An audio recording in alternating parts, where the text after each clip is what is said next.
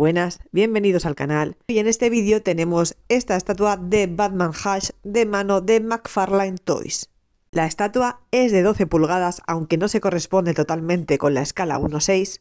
Como ya pudisteis ver en mi vídeo de la estatua de Black Adam, que la verdad es que tampoco me dejó muy contenta porque la pintura pues no venía del todo bien, me recordaba mucho a la Diamond Gallery. ¿Y no has visto mi vídeo de Black Adam? Pues a qué esperas para estar suscrito y no perderte todo lo que cuelgo en este canal.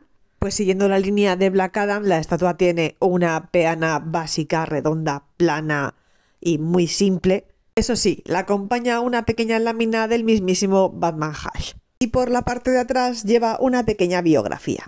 A ver, en sí lo que es la figura, la estatua, me gusta, me gusta mucho la pose. Fijaos el dinamismo que tiene la capa. Claro, al ser fotos promocionales, pues la pintura se ve muy bien. Que siempre tienes la opción de si te viene algo mal, pues repintar. No es lo ideal, pero bueno, es una opción. Su página oficial tiene un escueto lanzamiento para 2023, no especifica nada más, tampoco tenemos precio. Si el precio es parecido al Black Adam, pues rondará los 45 o 50 euros. Hasta aquí el vídeo de hoy. Si te ha gustado, dale like, suscríbete al canal que es gratis y nos vemos en el siguiente vídeo con las orejas. Adiós.